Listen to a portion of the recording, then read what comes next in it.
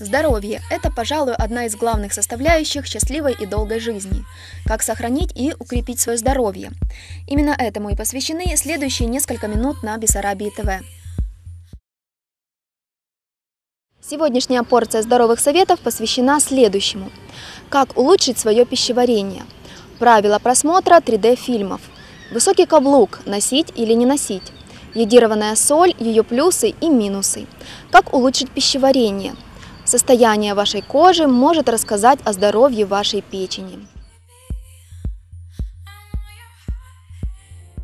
Существует множество рекомендаций для улучшения работы пищеварительной системы. Вот самые основные. Ешьте много клетчатки каждый день и не забывайте при этом пить много воды. Старайтесь употреблять поменьше фасоли, капусты и брокколи. Уберите из рациона газированные напитки. Жуйте медленно. Регулярно занимайтесь спортом и избегайте стрессов.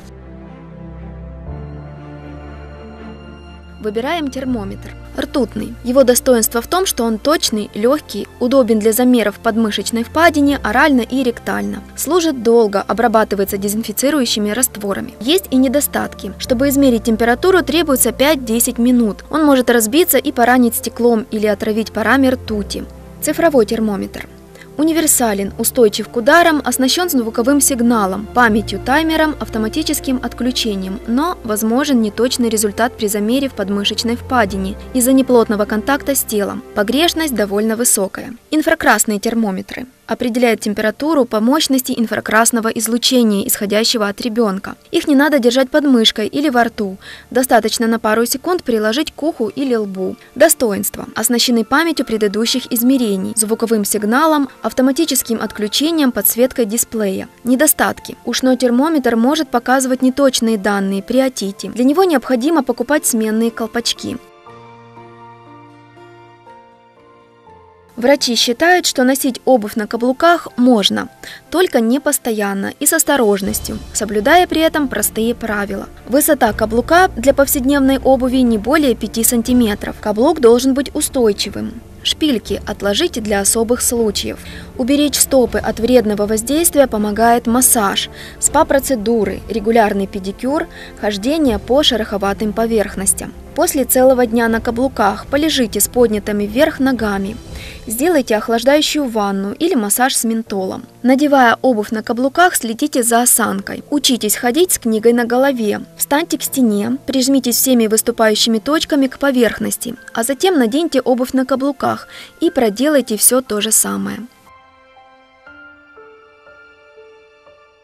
Специалисты с уверенностью говорят, если 3D-фильм снят с соблюдением всех технологических тонкостей, демонстрируется с использованием качественной аппаратуры, вреда для здоровья не будет. Тем не менее, не лишним будет соблюдать следующие правила. Выбирайте места в середине зала.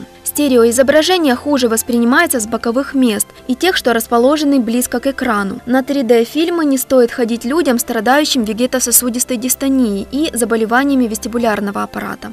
Лучше не водить на такие сеансы дошкольников. Следует быть осторожнее тем, у кого нарушено бинокулярное зрение, то есть в детстве было косоглазие. При выраженной близорукости или дальнозоркости сложно пользоваться стереоочками. Это может привести к перенапряжению глазных мышц и дискомфорту, особенно людям старше старше 40 лет. По возможности лучше идти в кино не в очках, а в контактных линзах. Прислушайтесь к собственному организму. Если после 15 минут просмотра вы испытываете дискомфорт, лучше уйти с сеанса. Кожа расскажет о здоровье печени. Если кожа стала сухой или, напротив, чересчур жирной, появились прыщики и покраснения, пигментные пятна, возможно, ваша печень не справляется с выведением токсинов, и эту функцию берут на себя кожные покровы. Тусклые волосы и ломкие ногти могут свидетельствовать о том, что печень не обеспечивает организм витаминами А, D, Е и F – Жировики на лице сигнализируют о нарушении синтеза холестерина. Сосудистые звездочки – предвестники нарушения метаболизма в печени. Быстрая утомляемость и раздражительность, отсутствие аппетита также могут быть причиной для проверки состояния печени. В целом, при проблемах с печенью необходимо ограничить употребление жирной и жареной еды, консервантов, алкоголя. Есть побольше свежей зелени, разноцветных овощей и фруктов, натуральное молоко, нерафинированное масло, орехи и бобовые. Ежедневная потребность организма в йоде составляет 150 миллионных долей грамма и 250 для беременных женщин. Вполне достаточно употреблять 5 грамм йодированной соли в день. Часто говорят, что в пачке с надписью «йодированная соль» никакого йода может не быть, ведь йод – летучее вещество.